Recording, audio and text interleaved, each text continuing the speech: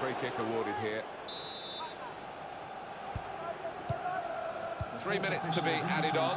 There will be a minimum of three minutes. Real. Madrid looking good with this attack. Looking to play his teammate through.